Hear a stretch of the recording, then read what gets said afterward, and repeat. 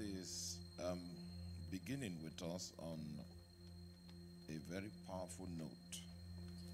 We are trusting Him to be able to make the most of 2022. It's not um, a year that we are going to stumble upon carelessly. God will help us in the name of Jesus. Like I said in our drill during the course of this lecture moment, uh, we will always begin by giving thanks to God for ushering us into a new year. Can you can you can you go before him with a heart of gratitude? With a heart of praise? Just exalt him. That's the way of men that want to become friends of God. Just exalt him, just magnify him. We give you glory and we give you praise. Let your great name be glorified. We thank you for causing us to see this year. Many there be that have desired to see this moment, but grace was not granted unto them. You are here because God hopes to draw pleasure from your life. It means you are part of the scheme of things from heaven's perspective. It's, it's a measure of mercy, manifestation of His grace. We give you glory in Jesus' name. Once again, thank you, oh God, for the privilege to partake of another year. We do not take it for granted. We thank you for your compassion, for your mercy, and for your grace. And here tonight, we ask that you grant utterance to bring your counsel in simple, plain language as Jesus would have done if he were physically teaching us. Take all the glory and praise in Jesus' mighty name. You may be seated. Now, because of the way this year started, it started on a note of spiritual attacks. It started on a note of um, so many battles. We wanted to understand the significance of all of these battles in the scheme of things, God's scheme of things, and we began to perceive that it is the age of the watchman. So, because of that, we'll begin to teach along these lines to equip the people of God to function effectively in this capacity that the grace of God has been uh, made available so that we can make the most of the season that we find ourselves. I would like to begin by way of definition of terms. And as we study along the various moments when we will define some terminologies just to lend us the understanding of the concepts so that we can adequately comprehend this body of truth that the Lord will be passing across to us. The first um, word that we need to define is a watchman. And then subsequent words that are going to be frequently stumbled upon in our study. One of such is the watches. Watches. So we'll start with the watchman, then we'll define what watches are. and when we talk about watches, we're not talking about your wristwatch. Uh, it's a terminology that is consistent with the emphasis that we are bringing. So, just a simple working definition watchmen are prophets, comma, intercessors, comma, prophetic people, which watch in the spirit for three specific purposes. They are what? Prophets. They are intercessors. And they are prophetic people. And the reason for the activities, the activities of these watchmen are captured within watches. You with me? And their activity of watching is in three perspectives. Are you with me? And I'm going to, if I have the time, I will show you that if God wants to do any major thing, what he does is that he first of all deploys the watchmen to begin to function. If watchmen do not begin to function, it might be difficult for God to implement a plan that is upon his heart. I'd like us to see a few examples of watchmen. Then we'll come back to our definition. And uh, when we come back, we are going to look at the three activities that constitute the activity of watches that watchmen are raised to do. Now, turn with me to the book of Luke quickly. The book of Luke is a common scripture to us in this place. It's uh, one of my favorite scriptures. And uh, the scripture actually comes up again and again for various uh, purposes. But uh, we are going to look at it from a different perspective just trying to make us understand that in order for God to implement his purposes, we need, he needs to, first of all, deploy watchmen. In Luke chapter 2, verse 21, the Bible says, And when eight days were accomplished for the circumcision of the child, his name was called Jesus, which was so named of the angel before he was conceived in the womb. And when the days of our purification according to the law of the of the law of Moses were accomplished, they brought him to Jerusalem to present him to the Lord. As it is written in the law of the Lord, every male that openeth the womb shall be called holy unto the Lord to offer a sacrifice according to that which is in the law of the Lord, a pair of turtles or two young pigeons. Verse 25 is the beginning of my emphasis. And behold, there was a man in Jerusalem whose name was Simeon. The same man was just and devout, waiting for the consolation of Israel, and the Holy Ghost was upon him. That's his credential. And it was revealed unto him by the Holy Ghost that he would not see death before he had seen the Lord's Christ.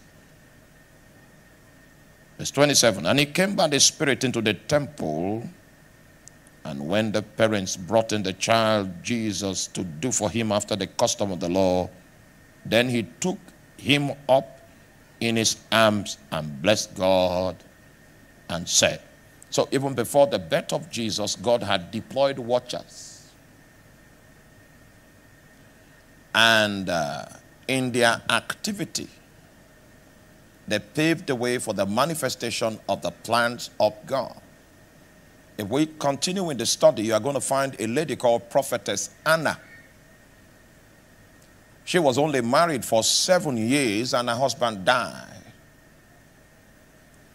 And God took away her desire for a man thereafter. And the only thing she found pleasure in doing was in seeking the face of God day and night. She was a watcher.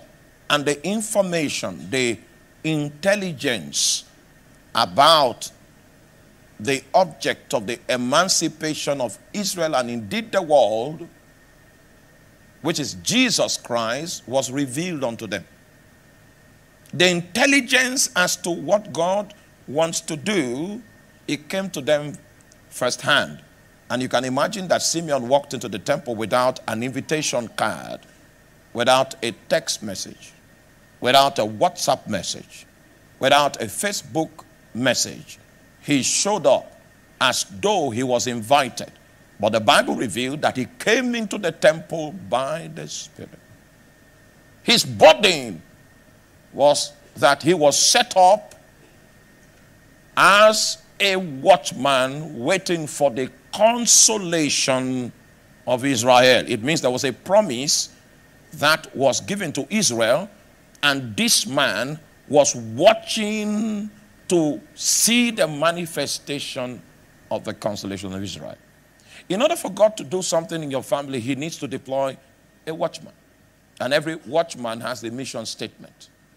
A watchman can be assigned to a territory, a watchman can be assigned to an individual. Hallelujah. There was this great pastor who was so anointed, and there was a watch, watchman that was attached to him. Because the destiny of the city where that man was was tied to the anointing that God had placed upon his life.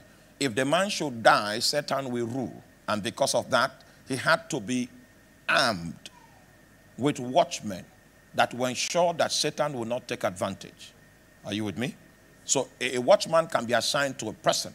A watchman can be assigned to a nation. Your, your scope of assignment is consistent with the allocations of the grace of God.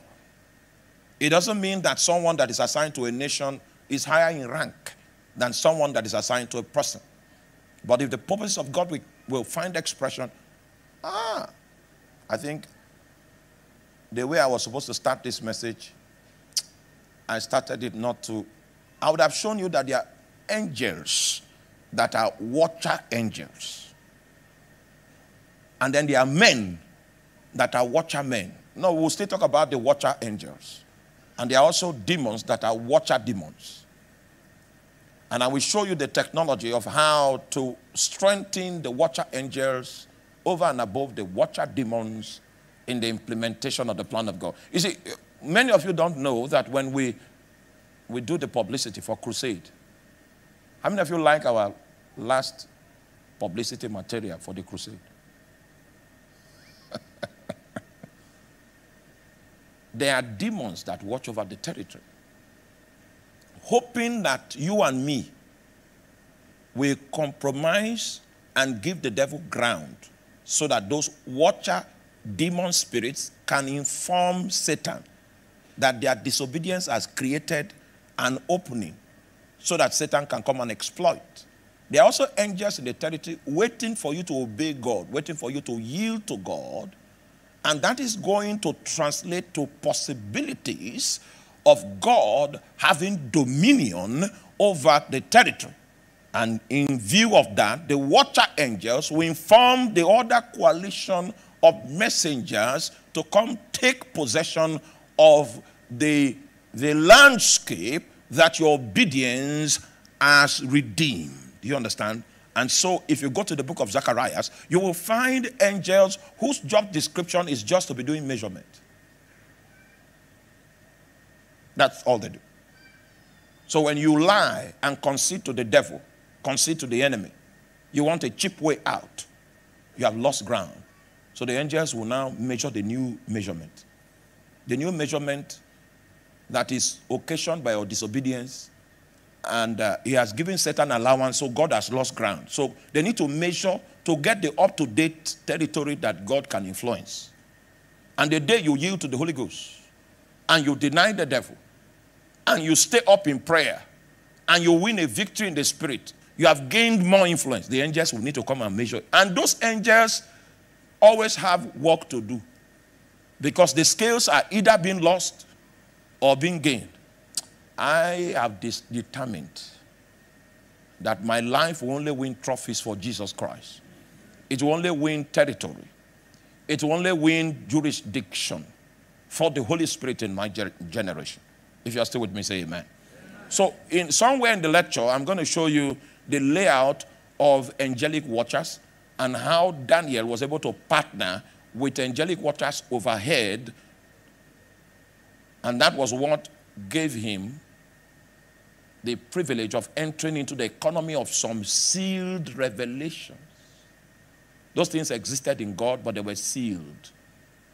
But there were several things that Daniel did, and we could see the partnership between angelic watchers and the natural watchers to, over, to tip the scales and to turn the, the tables and to give God the advantage. The cosmic war is a reality. And I trust that God will give us understanding. So we'll go into that. It's complex, a bit complex, but it will take time to do the teaching at that level so that you will know what you, will, you can do that will empower the angelic watchers over the city of Makurdi. There are several things that you can do that will empower the angelic watchers that are watching over your family. There are several things that you can do, and we are going to be taught during the course of these lectures. There was a certain woman that had an ailment, called a strange kind of ailment. The ailment, the woman was a barometer. Are you with me? That revealed the state of a certain church. If the spiritual capacity of the church begins to appreciate, the woman will become healed. She will become well. Do you understand that? And when the spiritual capacity of the church begins to de- decline, she'll start becoming sick. Her liberty was tied to either the alignment of the church or the disalignment of the church. If you want to know if the church is aligned, just check the woman's health. Do you understand that? And it came to pass that three witches were posted into that church. And the watcher of the church died at the age of 96, having served for 52 years as a veteran watcher. A vacuum was created in the congregation that nobody could feel. It was at the instance of the death of this watcher that three witches were introduced into the church. Guess what happened? Huh? Your guess is as good as mine. The woman, a strange ailment came upon the woman, and unfortunately, she died because the kingdom of darkness took over there was a functionary that was quietly functioning, operating, that was responsible for the survival of that church. The purpose of the church was locked on his activities, even though his activities were not as prominent as that of the pastor. God will need to wait oh, on your family until a watcher arises. Then his chances of influencing that family will be increased. I pray you will give God, in your act of watching, the much needed earthly permission for heavenly interference. In the name of Jesus. All right. You know, we said that watchers, they watch in the spirit for three specific activities. The first is watching to see what the enemy is doing. That is the subject of tonight.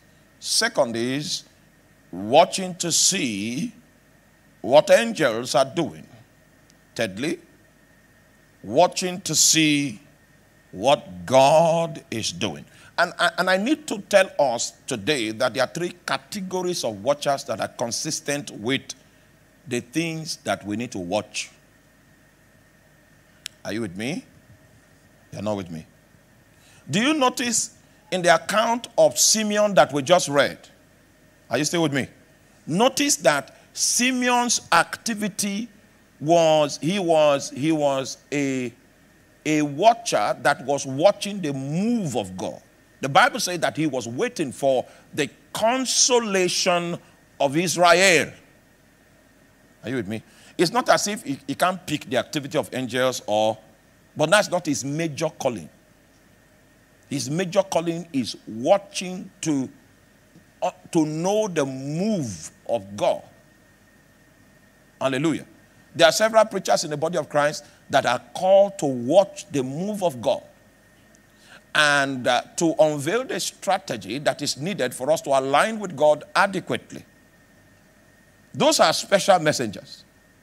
You may not have the gift they have, but they are their operation is for the bodies, to strengthen the body. And if you ignore them, hmm, you are likely to be outside of the move of God. No matter how gifted you are, you will need to pay attention to the watchers. Hallelujah. Now, so there are so some watchers that their job description is to trace and track the move of God, the development of the move of God in the territory, and uh, to enlighten the believers on how to align with God at every level of the development of His move. We will, we will look into that. It's quite complex, but we'll look into it um, very critically. But Anna, Prophetess Anna and um, Simeon are good examples of functionaries with that capacity. For the purpose of our lecture this evening, the emphasis is to see the first category of watchers, which are watchers that are set up with the capacity to discern the activities of the enemy. Esther chapter 3, from verse number 1. Esther chapter 3, from verse number 1.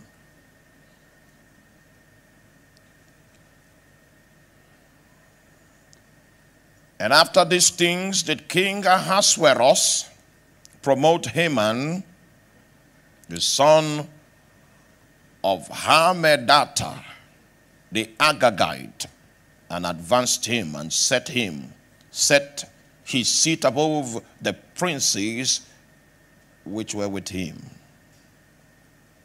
And all the king's servants that were in the king's gate bowed and reverenced Haman, for the king had so commanded concerning him. But Mordecai bowed not, nor did him reverence. Then the king's servants which were in the gate said unto Mordecai, Why transgressed thou the king's commandment?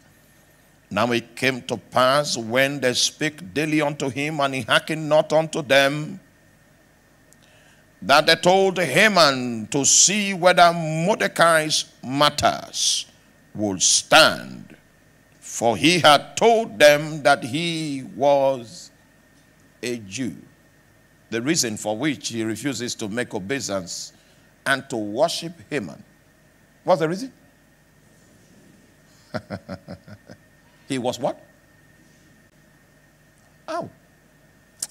I don't have time. I don't have time with that. But I believe it's self explanatory, but it's, it's deep. It's deep. All right. So let's go on.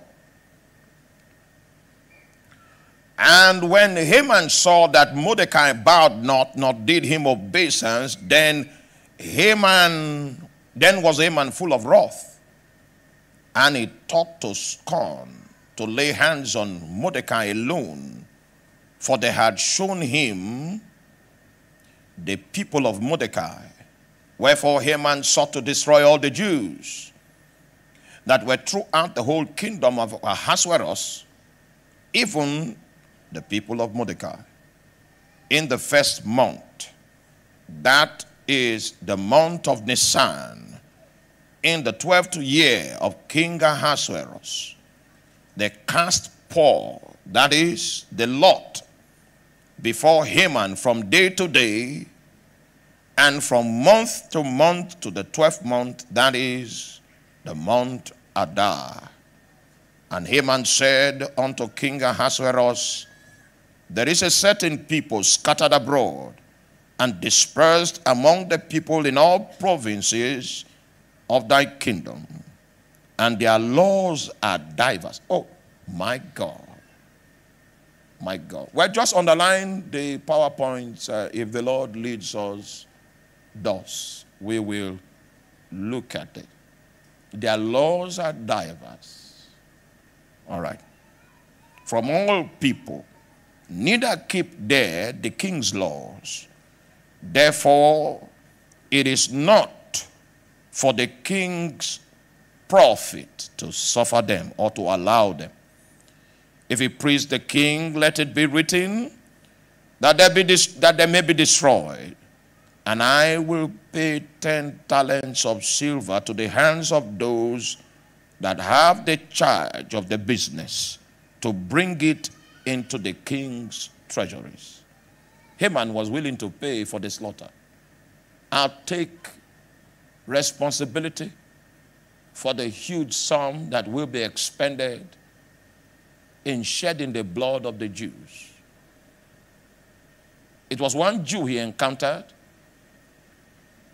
but he found out that that Jew was not isolated in the practice that brought so much wrath to him.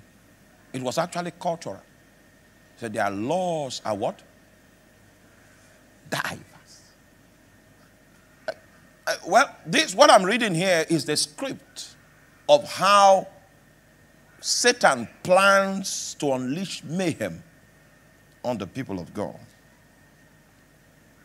All right. And the king took his ring from his hand and gave it to him and the son of Hammedatha, the Agagite, the Jews' enemy. And the king said unto him, And The silver is given to thee, the people also do with them as it seemeth good unto thee. It means this man has been given state support to implement the object of his vengeance. Now, can we check Esther chapter 4, verse 1 quickly as we begin the journey? When Mordecai perceived all that was done, can you underline perceive? That is to say that there was no talebearer that brought the news to Mordecai. It was by perception that Mordecai knew what was going on. You know, I told you that there are some watchers that are more gifted in perceiving the plans of the enemy. And I need to tell us the need for such watchers. And I also need to tell us, just in case you are such a watcher, um, I need to explain your spiritual experiences to you. Are you still with me?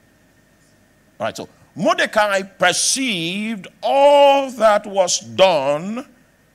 Mordecai rent his clothes and put on sackcloths with ashes and went out into the city, into the midst of the city, and cried with a loud voice and a bitter cry. And it came to pass before the king's gate. It came even before the king's gate, for none might enter into the king's gate clothed with sackcloth. And in every province, whithersoever the king's commandment and his decree came, there was a great mourning among the Jews, and fasting, and weeping, and wailing, and many laying sackcloth and ashes. So Esther's maid and their her chamberlains came and told it her. Then was the queen exceedingly grieved, and she sent raiment to Mordecai, because Esther had not yet perceived the reason for which Mordecai had sackcloth on. So she he thought that he, his wardrobe was boggled. And so she made haste and sent him raiment. But the reason for his grief was about something that the devil was planning that he did what? He perceived. This is a special kind of watchman, especially if you are into pastoring. You are laboring over the lives of people, and you, you are already a watchman. You know, I said watchmen are prophets, Watchmen are intercessors. Watchmen are prophetic people. I need to say something about the prophetic, just like Pastor Abike was saying when he was leading prayers. If you become serious about your prayer life, just like some of us have decided to be serious, and you are consistent in praying, consistent in fasting, consistent in praying, consistent in fasting, a time will come, God will begin to send the intelligence your way. That means your spiritual senses will be activated. You'll be able to see in the realm of the spirit as the Lord wills. You'll be able to hear in the realm of the spirit as the Lord wills. You'll be able to perceive in the realm of the spirit as the Lord wills. You'll be able to understand things that you were not taught as the Lord wills. You will know things that you did not learn as the Lord wills because every intercessor that becomes consistent is conscripted into the duty of watching. And everything that God wants to do must be midwifed by a watcher. And just in case you are in politics, oh, there is so much need for watching in politics because most of the people you are contending with are, have ranking with the devil. Most of the people that you are trying to achieve some stuff with have their hands in mysteries of darkness. And so you are supposed to dust your prayer mat and get ready for the watches. There is a guarantee that you have. When you sign up to become a watchman, God is under obligation to give you spiritual intelligence. The man Mordecai was in his place doing his natural work, he was doing his job. Please help me tell your neighbor there's a difference between your job and your work. For instance, your job pays salary, your work pays reward. Still preaching. You are still preaching. You are still preaching.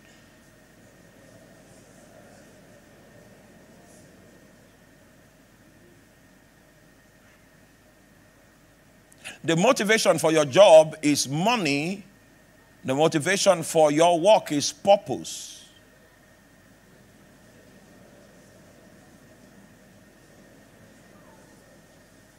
In the Garden of Eden, God gave Adam not a job, but work.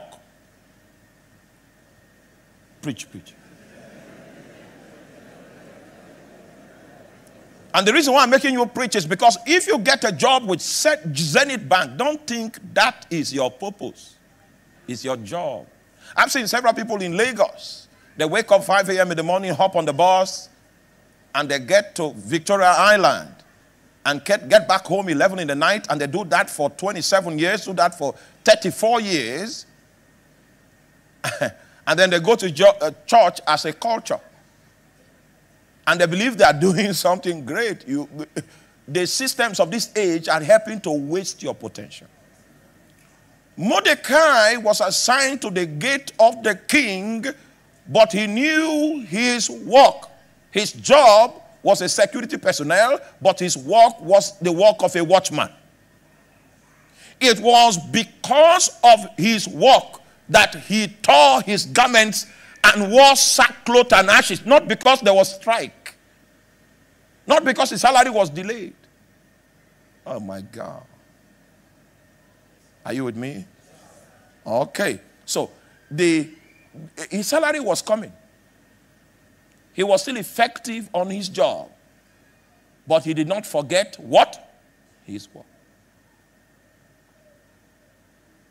He had earned laurels, laurels in the kingdom where he served, and there were opportunities for him to have been redeployed from the gate. He insisted that his position will be where? The gate. Why? Do you still remember? Do you remember? Or you don't? I don't, I don't think you do. Because in the culture of the Israeli people, what we call our Senate today, House of Assembly, places where decisions are made that are bind, binding on the populace. What we call, do you understand that? The House of Representative is at the gate. That's where elders gather to take decisions that are binding on people that are in the city. Are you with me? So now that we're in a situation that was not Israel. But the man maintained the culture. He was an elder in his time. So he preferred the gate because of the significance of the gate. Even though he had opportunities to have been redeployed, he remained there because it reminded him of the strategic position of the elders at the gate. I don't have time to take you to the book of Lamentations where we see an obituary of a civilization, an obituary of a city. Part of the indicators of the obituary of, a, of the city was that the elders have ceased from the gate. It means they had no house of assembly anymore. They had no senate anymore. So any man could do what he wanted to do. There were no laws that re- regulated the activities of people because that government at the gate was no longer in place. That's part of what constitutes the obituary of what? Oh, you are not with me. Oh. Can we talk deep? Uh, we can't talk deep here. Oh my God. Because you are already fainting. I'm seeing some people, are, the blood pressure is going up. The man stayed by what? The gate. You need to be a Jew to know the meaning of that. He stayed where? Now, the point is this it doesn't matter if you are in, in Zenith Bank, you work for, you are the uh, special assistant to the, to the governor on religious matters, on traditional matters. That's your job. But you need to maintain your assignment at the gate. You are one of the people that should take, make legislations that will govern the city where you dwell. We have such authority as watchmen, but you cannot function as a watchman until God gives you the grace to be able to perceive. And what Mordecai perceived was the plan that the enemy had that he wanted to implement upon the Jews. I need to ask some of you are you here? If you had a way to bug your enemy's cell phone, so that when he picks a call, you'll be hearing on the call and then you found out that your name was discussed. That in the night, close to the suya joint, because you are, you are overtaken by suya, and you need to visit the suya joint every night. It's like a spell was cast on you, and you need to visit the suya joint. And a plan has been made to waylay you by the suya spot. Even if the demon of suya has possessed you, because of that intelligence, what will you do? So if you have access, hallelujah, if you have access to intelligence that concerns the plans of the enemy, it gives you an opportunity to plan against it. Part of the reasons why some of the things the devil plans come so part, they are shooting the arrow. They shot it. They took six months to create it because the Bible said no weapon. Form. Weapons are formed. So they checked your lifestyle, checked the things you love, check that you like red wine that is 4% alcohol content. they checked your liberties. They checked your idols and then formed a, a, a weapon that was consistent to all those indices pertaining to your life. You see, weapons that are formed in the kingdom of darkness are idiosyncratic, they are particular, they are specific to the object matter. So a weapon designed for you will not work for me. So the devil is into custom building of weapons. Oh my. Nobody can be as wise as a hunter because the hunter doesn't put the prey on notice before he comes to hunt. In fact, it's the prey's carelessness that I'm free, I'm in liberty, that makes it vulnerable to the intelligent attempts of the hunter. But the watchers that have grace to perceive what is going on in the kingdom of darkness, they also have plans against the plan of the devil. Just like the devil builds a siege, you can also build a siege against the siege of the devil. If we have intelligence that will give us time to plan for the devil, you will see that the devil is not so strong. He takes advantage of the fact that you are not conscious of what is going on. So, part of what God empowers us to watch about is to watch the activity of the enemy. Are you still with me? Mordecai did what? Perceive. So I just came back a, from a session of prayer myself. And I've already picked up a few points that the devil wants to achieve around my life. The first thing he wants to achieve is to get a false preacher to invite me to preach on his platform. The reason what, what the devil wants to achieve is to, is, to, is to corrupt, is to contaminate our convictions, which we have carried for so many years. We have slaved because of our convictions. We have been insulted because of our convictions. People called us Jew because of our conviction. People say we are proud because of our convictions. So our convictions happens to be the meaning of our existence. Now he has seen how tenaciously we are willing to hold on to integrity. And he wants to do a fast one. You know what? It's only if you have a, an appetite that is not regulated by the Holy Ghost that Satan can win on your case. If you, if you cannot, um, if you see every invitation as an opportunity, one day you'll be preaching with the devil's microphone.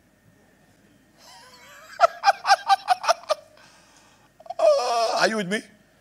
Second thing the devil wants to achieve is to create a, an accusation about me in 2022 that we make waves.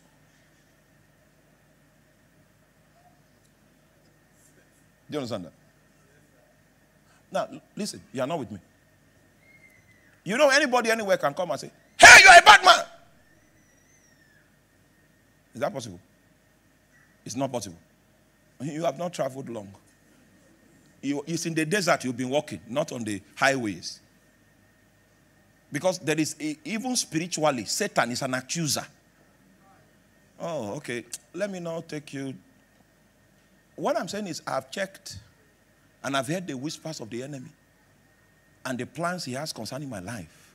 So I've also made plans if it's only the devil, for many of us, it's only the devil that is planning because you are oblivious of the plans of darkness.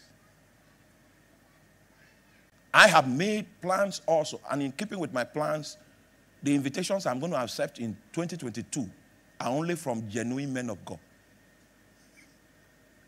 Men that if I go before God, God says, Yes, my son. Then I'm willing to respond to those invitations because I have received intelligence about the intention of the kingdom of darkness. Do you understand it? Part of the reason why God raised us as a ministry to raise the standard, to establish a plumb, a an apostolic plumb line. The body of Christ, we have wizards as pastors, we have former practitioners of divination and with suit on the pulpit trying to speak English. We have evil men saying Jesus. And they will not leave the name of Jesus. Do you understand that? So, God, the, the cure to it is that God will raise original people that have not bowed themselves to the God of the age, the God of mammon, the God of performance, the God of lies. People that are in active service with the Lord. And when you see them, you will know the difference.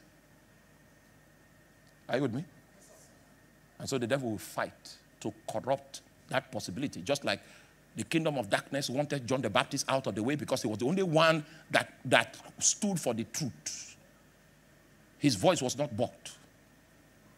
If you don't know what Satan wants to achieve around your life, you will play into his arena. So the first thing that God raises a watchman to discern is to know the plans of the kingdom of what? Yeah. So every year I seek intelligence. Are you with me? If, you are, if your God is invitation, you will fall. If your God is money,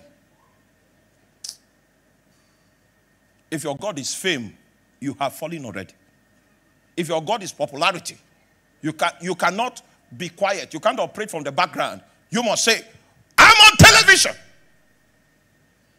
Ah. They will invite you. BBC will invite you. And that invitation will be the end of you. So, part of the reasons why you need to receive intelligence is so that you can build your own siege against the siege of the devil. Please help me tell your neighbor. Don't let not Satan be the only one planning. You have to plan also. and I tell you, by the special mercy of God, we will disappoint Satan again in 2022. I have received mercy from him. Watch it. These are the days when we need to streamline ourselves and build a brotherhood that is true so that we can set a standard in the body of Christ. If I'm not popular, to God be the glory. If I don't have fame, to God be the glory. My prayer is not to be the most powerful. I just want to serve the will of God in my generation. Hallelujah. It's, it's, it's, it's big enough for you to serve His will. There's nothing greater than that in the kingdom. I will not serve mammon. I didn't hear you. I will not serve vanity. I will not serve the lust of the flesh. I will not serve the lust of the eyes. I will be content with such things as I have. I'll serve Jesus. Tell yourself those things every day because they are forces of darkness seeking to lure your soul so that you your, your security can be exposed. The Bible says that Mordecai perceived. That's the way of the watchman. There's an enablement of the Spirit of God that gives you insight into spiritual knowledge. I'm talking about things that you were not taught, things that you cannot learn. I'm talking about things that you cannot receive from a lecture of a professor. You can't find it in the library. It is handed out by the Spirit of God Himself. Second scripture, quickly. Are you there in the book of Esther? Okay. Um, yeah, let's continue. Esther chapter 4, jump to verse 4 to 8. Esther 4, 4 to 8. Esther 4, 4. So Esther's maid and her chamberlains came and told her. Then was the queen exceedingly grieved, and she sent raiment to clothe Mordecai and to take away his sackcloth from him, but he received it not. Then called Esther for Hathach, one of the king's chamberlains, whom he had appointed to attend upon her, and gave him a commandment to Mordecai to know what it was and why it was. And Uh, Hathach went forth to Mordecai unto the street of the city, which was before the king's gate. And Mordecai told him all, the, all that had happened unto him and the sum of the money that Haman had promised to pay the king's treasuries for the Jews to destroy them. Also, he gave him the copy. Now, I would like you to see the things that watchmen have access to because of their diligence in keeping the watches. First of all, are you here? Oh my. He told the queen's messenger the sum of the matters. He told the queen's messenger the amount that Mordecai was going to pay for the destruction of the Jews. He also brought evidence. There was a copy of the commandment, commandment that created premise for him to unleash his wrath and his vengeance on the children of Israel. When you when you sit, when you begin to function diligently, are you here? In the capacity of the watchman, God will begin to give you details. Details about the activity of the kingdom of darkness, and He will even give you insight into the things that happened in the territory that legitimized the activities in your family, the activities in the land, the activities in your life. Those are spiritual details. And if you are devoid of spiritual knowledge in this wise, you can do no damage to the kingdom of darkness. The weapons of darkness are sealed in hyper intelligence. There are judicial premises that are exploited to do vengeance according to wickedness. I pray the Lord will open our understanding in the name of Jesus Christ. Are you still there? To show it unto Esther and to declare it unto her and to charge her that she should go into in unto the king to make supplication unto him and to make requests before him for her people. Do you realize that God gave no Esther no revelation? Esther was going to be the hand through which all the mercy that has been gathered through supplication was going to be extended. Esther was going to be the face through which God will have done with so much favor because the watchmen, a watchman can regulate the situation. Their activities and efforts can baptize a man with favor, not for himself, but for the purposes of God to prosper. Watchmen, when they are lacking, even the brightest will be ignored, the best will be forsaken, the strongest will fall in battle. Watchmen. The question tonight is how much insight do you have of the devil's plan?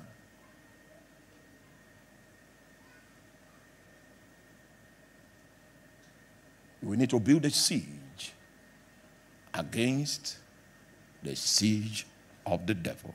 Second Kings chapter 6, from verse 8 to 12. Second Kings chapter 6, from verse 8 to 12. Where's the man on the keyboard? He's, he's, at, he's enjoying scriptures. Hallelujah. Then the king of Syria warred against Israel and took counsel with his servants, saying, In such and such a place shall be my camp. And the man of God sent unto the king of Israel, saying, Beware that thou pass not such a place, for thither the Syrians are come down. And the king of Israel sent to the place which the man of God told him and warned him of and saved himself there, not once or twice. Therefore, the heart of the king of Syria was so troubled for this thing. And he called his servants and said unto them, Will he not show me which of us is for the king of Israel? And one of the king's servants said, None, my lord, O king, but Elisha, the prophet that is in Israel. He telleth the king of Israel the words that thou speakest in thy bedchamber. Is it possible that from among us, a watchman will receive so much anointing that he's, he will have a divine hearing aid to perceive as much as what is spoken in the highest ranks of the meetings in the kingdom of darkness? Is it possible? If we do not have intelligence, that was how we played many years ago. And insecurity hit us hard. Many good men have died because of the laxity of the watchmen. Because the Bible says, while men slept, it was only in that window that the enemy was able to come. The watchmen of the last generation have exposed us to the fury of our enemies. A new set of watchmen must, be, must rise. A new breed without greed. A radical opposition against unrighteousness. Men that will stand before God and learn the technology of how to move his hand over their generation. It is Elisha. There is no traitor among us. He has the ear of God. And he can hear the secrets in thy bedchamber. the king now knew that there was no need to fight Israel. There was every need to fight Elisha. Number one, if most of what you see in your dreams, in your encounters, are plans of the enemy, because there's one of us here, he only sees the plans of the enemy. So I now sat the person down. I say, because the person thinks that the dreams are prophecies. I said, no, your dreams are not prophecies. You are a watchman. And the anointing that you have gives you access to see the devil's plans. All these things you are saying will not come to pass. But they are plans. And if we sleep, it will come to pass. That's what you are called to see. You are not called to prophesy them. Because if we are alive, those things will not see the light of day. But you have a gift. And if I'm not mistaken, among all of us sitting here, the person I speak of has that gift much more. Because that is the area of the person's calling. It's like Elisha that can see, hear the import of the meetings that are put up to bring darkness, wickedness, wickedness on the people of God.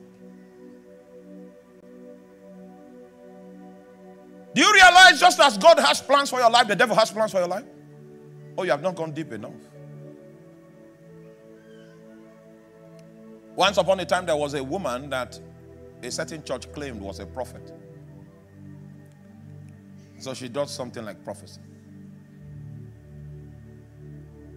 And during one of the services, a mighty preacher was ministering. And she did something like prophecy and pointed him and said, Ah, he's seen him. His car hit a tree and he died. That's the plan of the devil. She just prophesied it, she just said it. Are you with me? But this prophet is experienced. He knew that revelation was not from God. Through the gift of discernment of spirit. I will stop there. I will not proceed on what happened.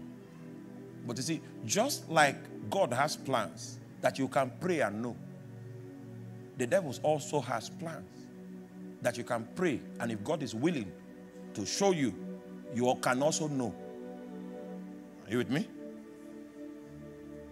If you are a watchman and the grace upon you is sensitive to detecting the secrets in the kingdom of darkness, the things you are receiving is not for prophecy.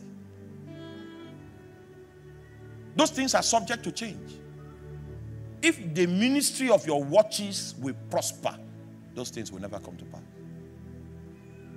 Because Elisha had that gift and he could hear what was being said in the king's chamber, the king decided to send the army to, to bring Elisha down. Any one of you that has the ear to hear the secrets of darkness, listen to me. You become a major object of satanic attack. You, you need to become used to spiritual warfare. Ah. I've seen people with this grace, they say, Why is this? That my own attack is hard, it's too much. I laugh.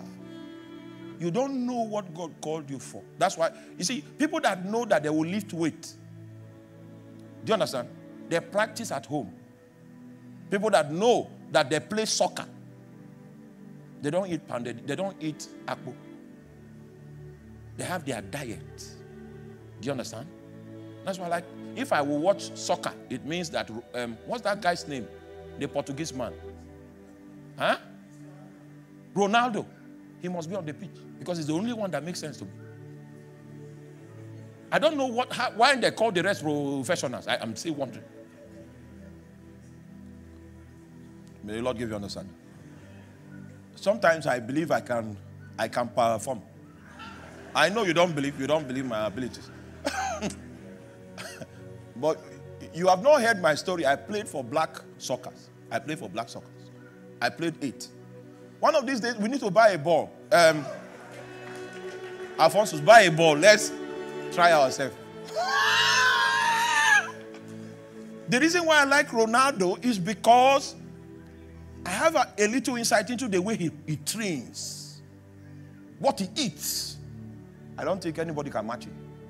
His fitness is on the super side. And then you have gifts that can expose the devil, and you don't train yourself for warfare. You are joking. Satan will come at you with all of his machinery. And that's what happened. The king sent his army against one man, one watcher. And the servant cried out, Can't you see the danger? And the solution to the servant's unbelief, fear, was the gift of sight. The moment the servant saw the security system around the watchers, his faith was helped. Do you know that the greatest source of faith is sight? Oh, this building you are sitting in, we saw it. It is madness to try to build this building. It's, you are mad. If you want to build this, you are mad. Especially when you have only five million in your, in your bank account. You are a madman. You should be jailed to even conceive that you could build. But you know what? We saw it. He showed us. It's just like you can take away the coat of many colors, but you cannot take away something that someone saw. It's real. No thief can break in and steal it. Nothing. The foundation alone was 55 million. In, in northern Nigeria, you are joking. You didn't steal money from politics, just faith. We didn't manipulate one person for the building. Think about it. It's only what you see that is yours, indeed. We saw it. And there was nothing the devil could do to stop it to, from coming to pass. The Bible said, They that observe lying vanities, they forsake their mess. What is real to you? What is real to me is what I see. I saw it by God. And heaven and earth can pass away, but that which God shows, He will bring it to pass.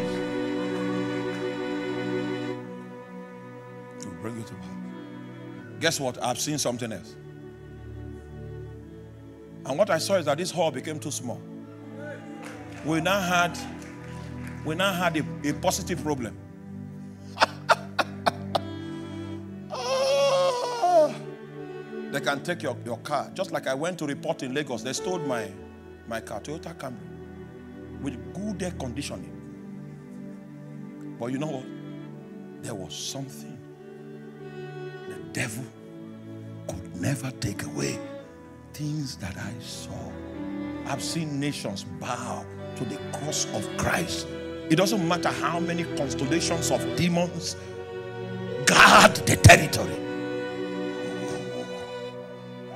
I have seen it. The language of the of the watcher is I have seen it. I have seen it. And when God wants to train watchers, what he does, he will, he will ask you, son of man, what thou to train your perception? Because it's what you see that is truly real. The things that are seen with the natural eyes, they are temporal, the Bible says. That means if all of the sight you have is the seeing that comes from your eyes, you are blind. I see. You don't need to beg to see, just stay in intercession. The faculties of sight, of perception, of understanding, that will pop open. When those faculties pop open, then you can say, like David, I have more understanding than my teachers. There's an economy of knowledge that is beyond that which a man can research into from the soil of his soul. Oh my God. Get ready. If God gives you intelligence about the kingdom of darkness, the first thing you should expect is you become a major object of satanic attack. And I need to teach you how to deal with attacks. Many of you are afraid. Oh, it's too late to be afraid. You know what? Because the Bible says we wrestle. It didn't say we are about to wrestle. We are practicing. You are. He said what? We wrestle. Your opinion was not sought before the wrestling was scheduled. The Bible says what? We wrestle. We wrestle. We wrestle. So I need to teach you how to wrestle. Because the only problem with Goliath was that there was a hole in his armor. If you wrestle, you cannot afford a hole in your armor. We wrestle. Please help, help me tell your neighbor. Your neighbor is not aware. Tell him we wrestle. We are not about to wrestle.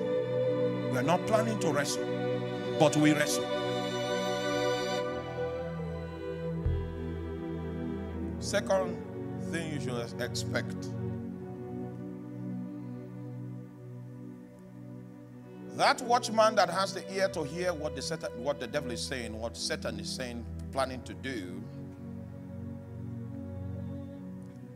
provides the most strategic insight and intelligence in counteracting demonic activity. So, this kind of messenger, are you with me? This kind of messenger, another attribute of the person's ministry is that the person must be willing to warn. You see, when you see Satan's activity, what do you do? Warn. You're not with me. You do what? Do you know I was in Lagos? I finished from offshore work, came back famished, and I fell on the bed and I started dreaming. And I saw one of my friends, and we were in the Senate building in Abuja. Somebody finished addressing the Senate, and then he came and seized the microphone from the person speaking, and he's pointed to a senator and said, You are sitting on my seat. Then the vision left, the dream left. I woke up and then I began to pray. And then God now told me that the kingdom of darkness is about to set him up so that he can lose his seat in the spirit. I told him, I warned him. He said, No, I just finished 70 days of fasting and prayer. My wife was involved with a whole congregation. We bowed down to God to pray. Hey and he demeaned the prophet that was warning him. Uh, that same man slept into false doctrine. He lost favor in the body of Christ, and the gates of the body was shut to him. You know what?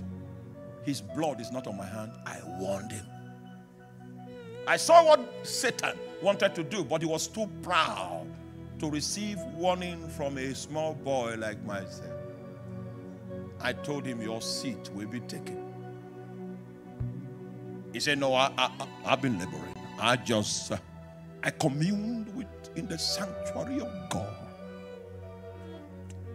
May Lord give you understanding. when you see, you do what? You warn. Such are the ways of prophets. Because we still need men in the body of Christ that will warn us that danger is coming. No one told us that the beast of wickedness will come into our territory and take blood. No one told. No one us. God will put some words on your heart and He will send you to people to warn them. Be polite, be, be, be humble, but warn. Number three. This set of watchmen that watches the activity of the enemy is the greatest tool in the hand of God to expose Satan. Satan is weak when he's exposed.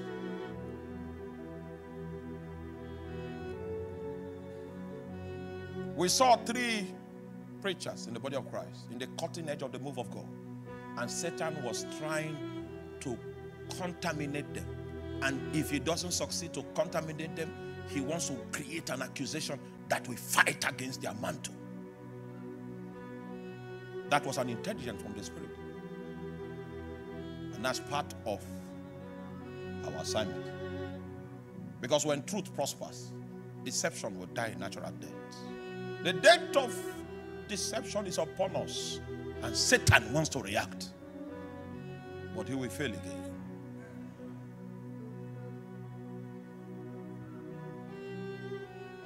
We wrestle.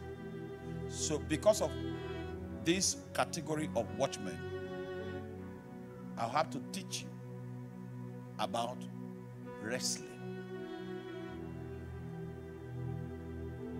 Listen to me.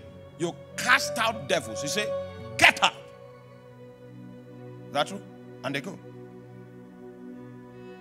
But you will wrestle with princes. You don't cast out princes. You you wrestle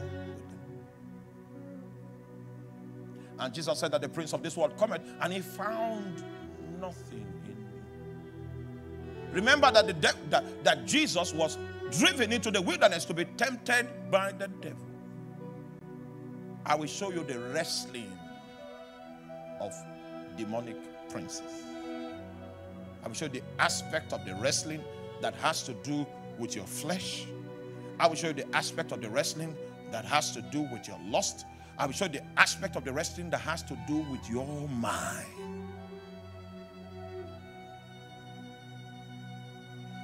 It is then that I can show you the helmet of salvation, the breastplate of righteousness, the sword of the Spirit. The reason why I need to show you is because we, we wrestle. We wrestle. We wrestle. We are not about to wrestle. We are not planning to wrestle. But we wrestle. We're going to pray tonight. Prayer point number one. I need to give you scripture for every prayer point. A true watchman must be equipped with scripture. If you want to lead people in prayer, find the scripture. You yourself, you go and pray first, and God will inspire you and give you scriptures. And because you have been trained in the scriptures, you will produce a catalog of scriptures that are along the line of the witness of the Spirit. That's how to lead prayer, not just to come and speak in tongues.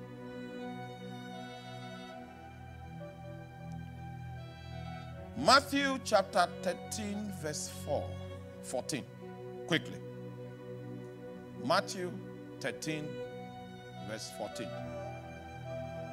And in them is fulfilled the prophecy of Isaiah, which said, By hearing ye shall hear and not understand, and seeing ye shall see and not perceive.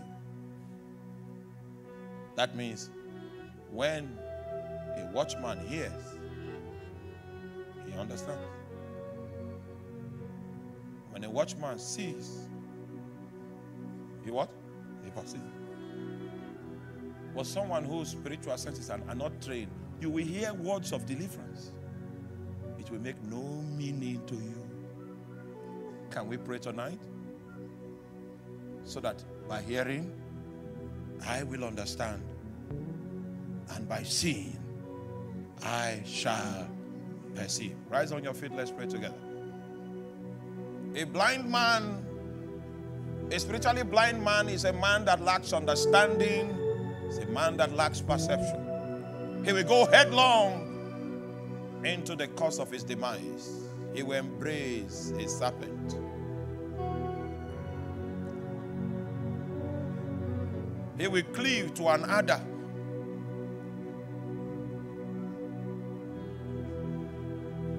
He will be affectionate to a beast. So that by hearing we shall hear, and by seeing we shall perceive. Can you ask, Lord, deliver me from blindness? Let me understand by your Spirit. Let me become wise by the Holy Ghost. Let me see danger before it comes. Hear the cry before the disaster awakes. Let me perceive the plans of the kingdom of darkness so that I can raise a siege against the siege of the enemy. I can't hear you. You are whispering. You are whispering. 2022 is a year of war. There is warfare in the spirit. It is my duty to prepare you. The landscape is tense. The kingdom of darkness rages. Satan is about to suffer great loss. And because of this, his wrath has been kindled. Grant, oh God, that by hearing I will understand, and by seeing I will perceive. Kombe minateli. Shai kombe rasko pata kube la minasketalia. Gombre seketumina sikabresko felamina uke patwa. Alanto zezeze. Igabela mokotabina kata bokotia. Zemina ntonze. Lakopeto kobo kobo kosi. That some things that you will hear, the Spirit of God will quicken an emphasis and understanding that is beyond the hearing. That I will not be dull. That I will not be dull in understanding. But the Lord will cause the eyes of my understanding to be enlightened so that I will see the finger of the enemy.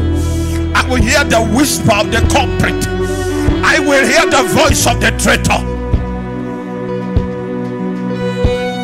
Labo seminata.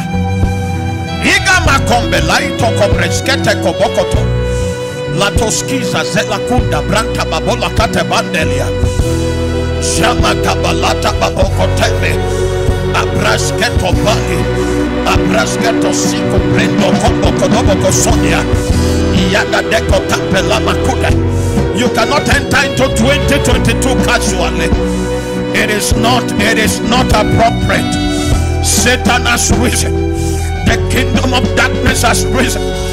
The powers of the devil has risen. We also rise.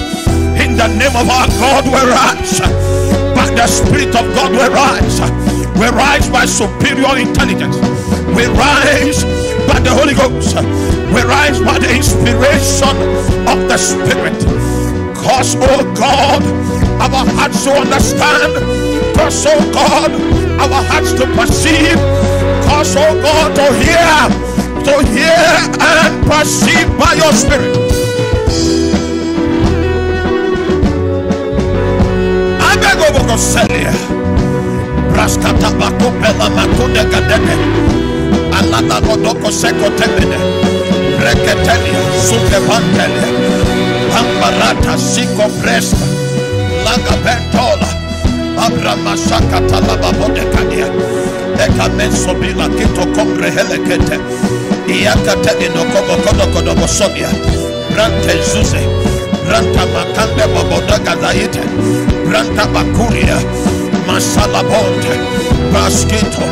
We cry because of our families. We cry because of our children. We cry because of our nation. Yeah. In hearing I will understand,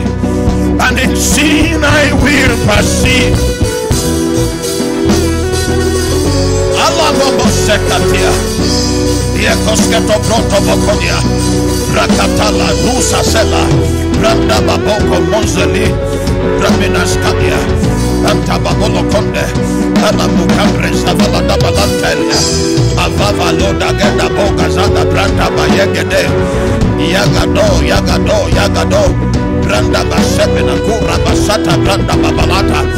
Ramakuta, ramakuta. Yes, Lord. In the name of Jesus. Matthew 22, verse 18. Matthew 22, verse 18. Quickly on the board. Matthew 22, verse 18. But Jesus perceived their wickedness. People were speaking. But what did Jesus perceive? May the Lord, may the Lord open our understanding. People were speaking. People were talking.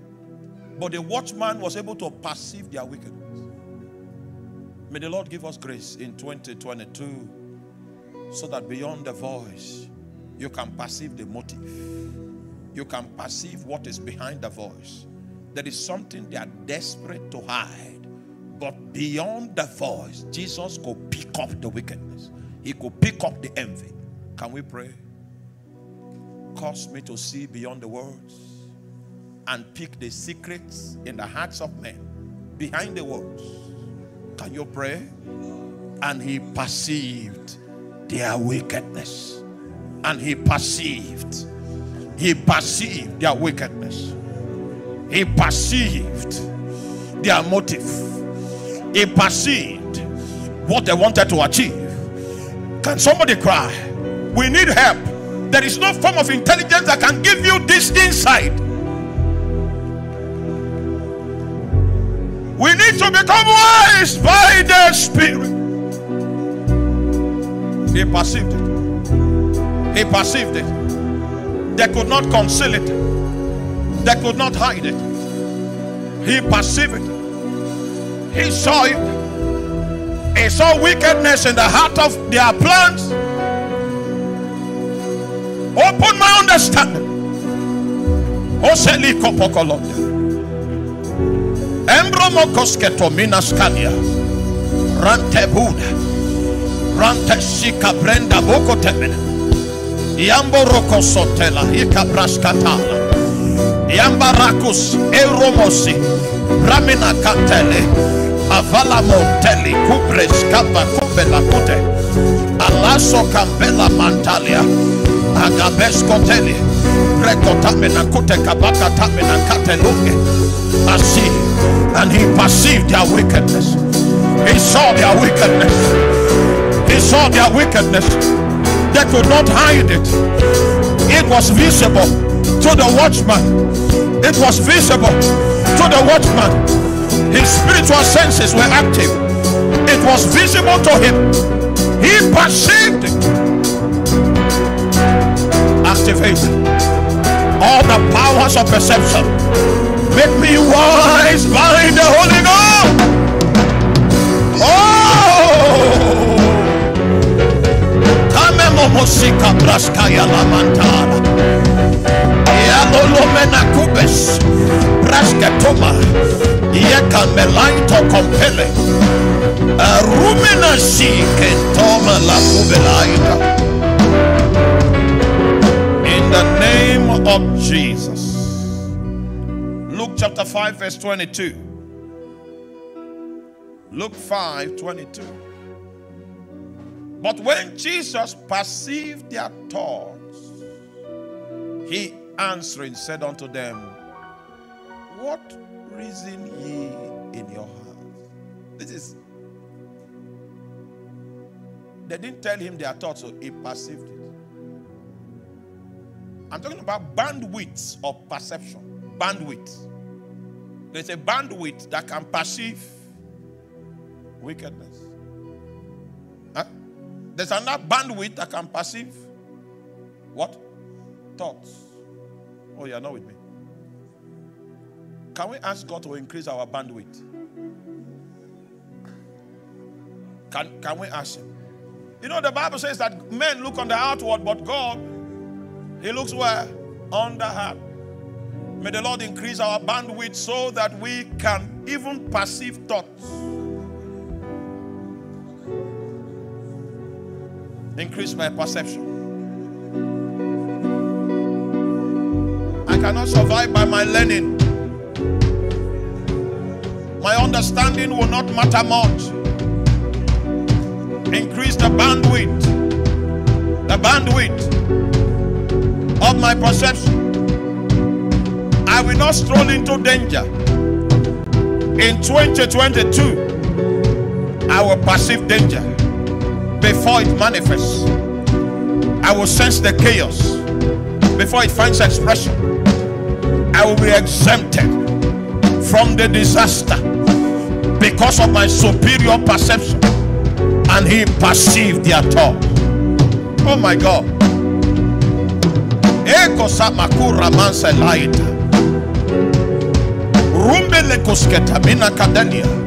La sose.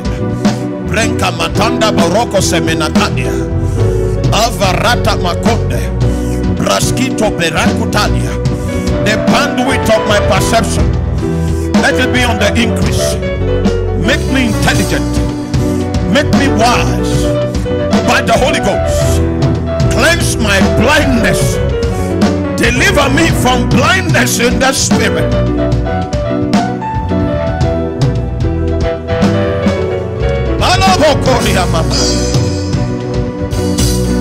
Shama mama mama Yela boko repaskito. Rento kanika manatali. Yeke kedimose sabruta. Oh, increase the bandwidth of my perception. In the name of Jesus. Final scripture, Luke chapter 20, verse 23. Luke 20. Verse 23. But he perceived. What again? Do you realize that in the layer, the membrane of the heart, a, a whole ecosystem dwells there?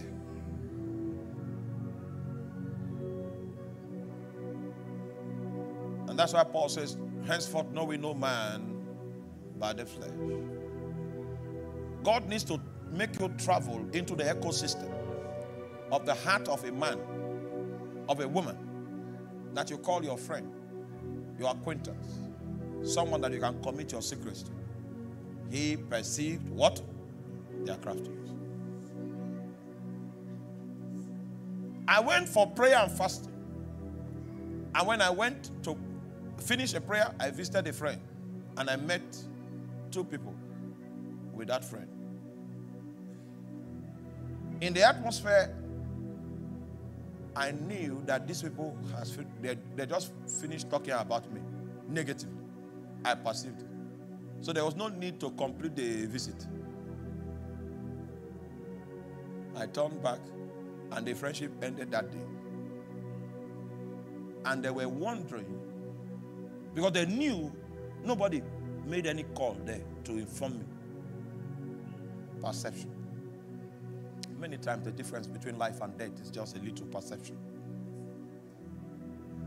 The difference between a mistake and wisdom is what? Perception. You, will, you don't understand the tragedy of life until you put your life in the hands of a crafty person. The blow will be below the belt. Something that if you don't find grace from God, you cannot recover. In the atmosphere, I sensed it. Nobody was speaking when I entered, but I sensed it. And that was the end.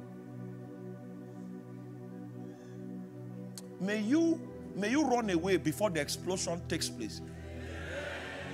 May you sense the danger before it comes so that you can, oh my God, you need to build a siege against the siege of the enemy. The gift of the watchman is perception.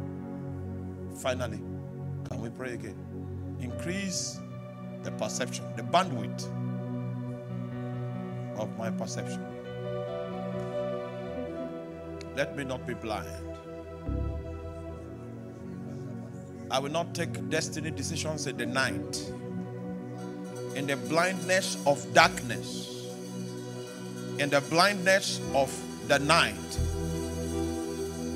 I will not take decisions under the light of the dwindling sun. But I will be counseled by the intensity of the light of the Holy Ghost. Increase the bandwidth of my perception.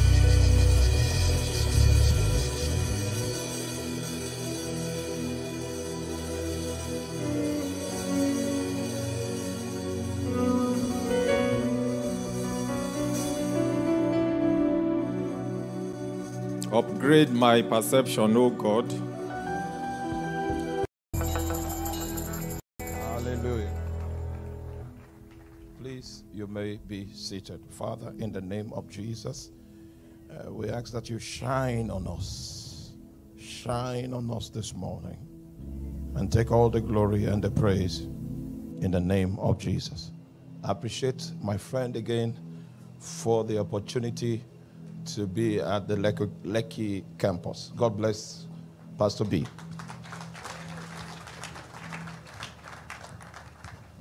We, we started a journey um, at the first service, and it's an adventure of faith.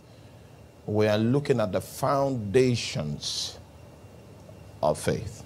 The foundations of faith. So, in the first service, we looked at foundations of faith, spiritual facts. And now we are looking at foundations of faith, divine promises. Turn your Bible to the book of Romans, chapter 4.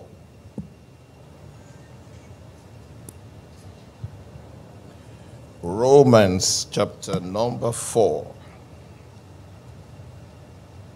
Amen. Foundations of faith, divine promises. Romans, chapter number 4 beginning from verse 13. For the promise that he should be the heir of the world was not to Abraham or to his seed through the law, but through the righteousness of faith. For if there which are of the law be heirs, faith is made void and the promise made of none effect. Because the law worketh wrath, for where no law is, there is no transgression. Therefore, it is of faith that it might be by grace. I'll, I'll take time to explain that. To the end, what's the goal? the promise might be sure to all the seed, not to that only which is of the law, but to that also which is of the faith of Abraham, who is the father of us all. That's the first scripture, and that's where that's a laboratory where we'll be doing our experiments this morning. But to introduce this um, laboratory, we may need to do Romans chapter 10. Quickly turn your Bible. The popular faith scripture, Romans chapter 10. Romans chapter 10, verse number 17, the popular faith scripture. You know the scripture. It says, So then faith cometh by hearing, and hearing by what? Now, I'd like us to begin an investigation. We begin this lecture this morning with an investigation. I'd like us to do a linguistic recovery. We want to check that word of God.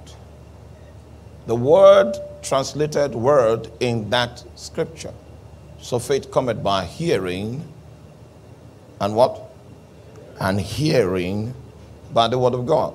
You, you, you, if you are acquainted with King James rendering, which is the best rendering, I, in my own opinion, what happened in that scripture is an attempt to show you the kind of hearing that we're talking about because you understand hearing in a certain context.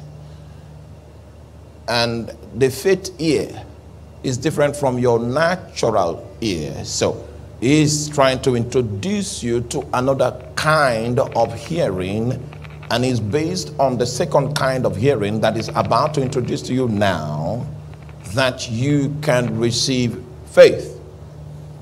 First investigation we need to do, which I said is linguistic, is the word word. If you have um, a lexicon, a Bible that is digital, and you can launch a linguistic investigation, if you click on word, you will find rhema. faith cometh by hearing, the kind of hearing that captures the rhema of God. Are you still with me? Now, just in case someone is saying, why is it speaking Greek? I came with a dictionary to explain rhema in English language. Hallelujah. So, just in case you have a Strong's lexicon, you'll find a pilot number G4483. That's what captures Rhema. Rhema fundamentally is an utterance, a spoken word, a proceeding word. We are talking about the foundations of faith. It's the reason why we need to investigate the foundations of faith is because so many people claim to be walking in faith, and if we test the content of their faith, it is not established on the foundations.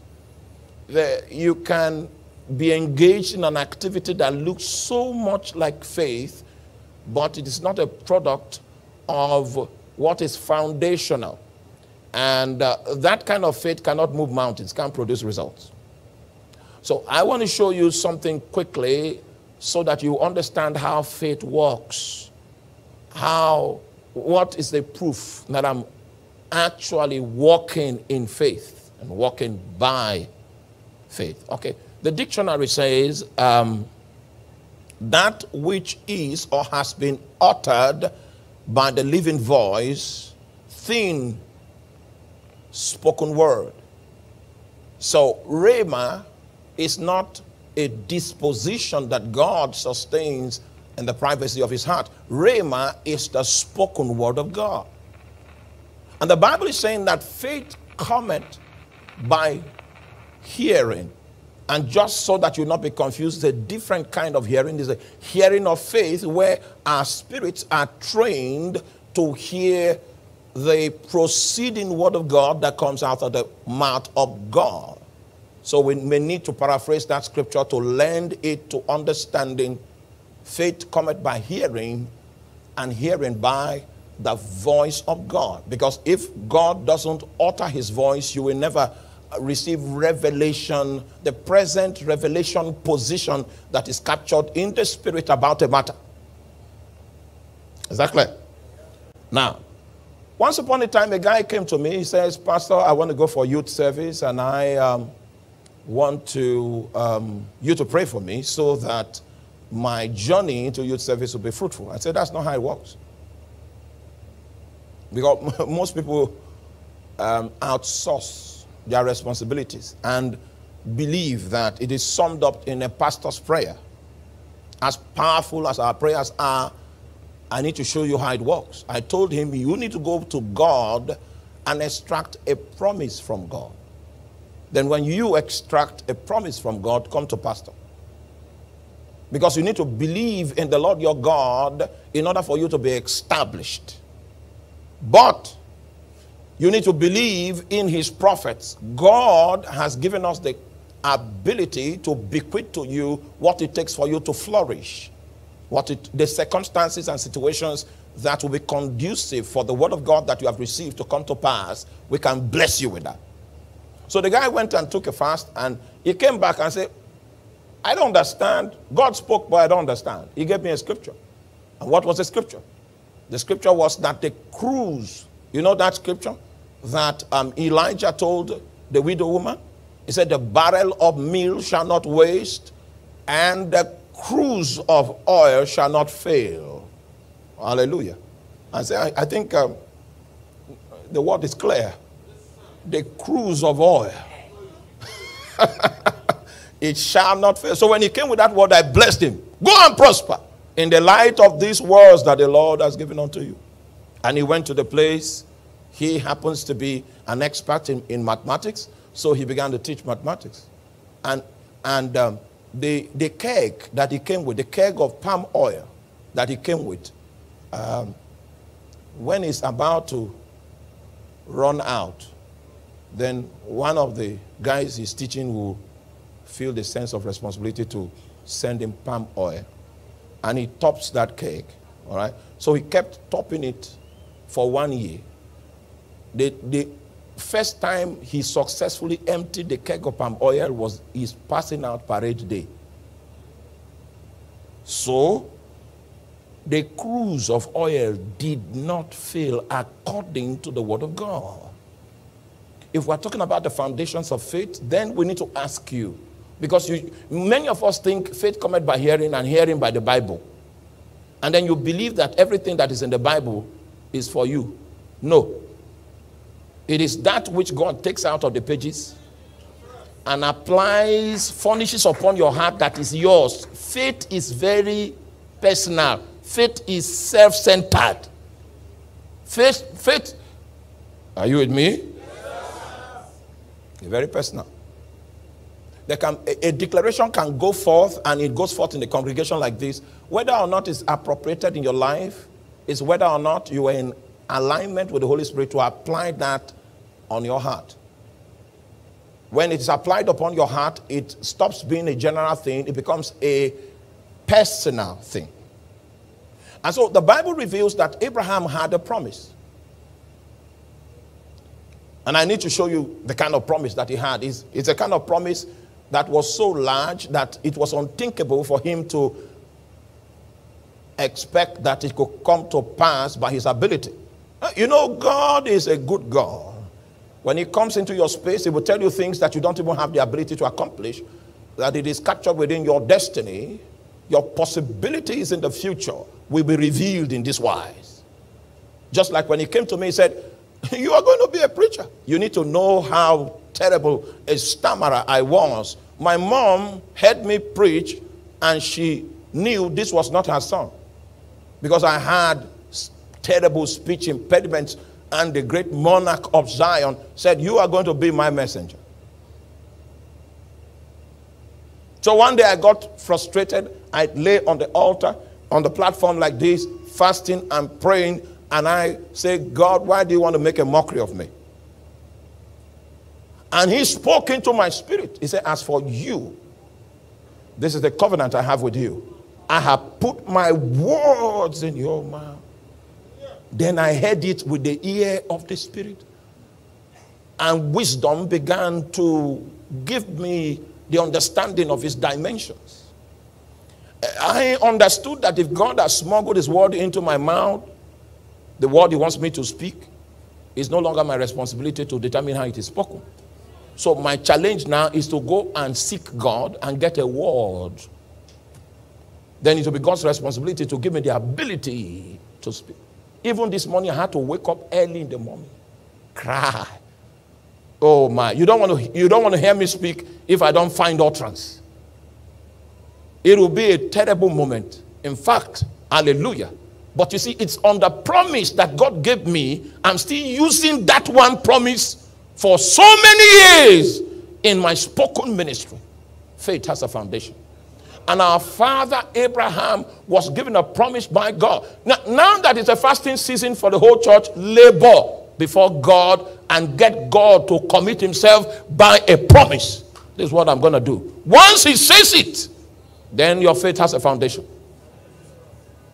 Even if it tarry, wait for it. Because it will come to pass. For God is not a man that he should lie. God is not the son of man. He is not capable of lying. It's not part of what he can do. It's, he doesn't have the ability to lie. It's not that God is a gentleman, and even though he can lie, he chooses not. I'm saying God doesn't have the ability to lie. The ability to lie is not with him. So let's consider the promise God gave Abraham quickly. Are you there? Romans chapter 4. Romans 4 quickly. All right, so 13 to 16. The promise was that Abraham was going to be the heir of the world. Have you seen it there? Instead,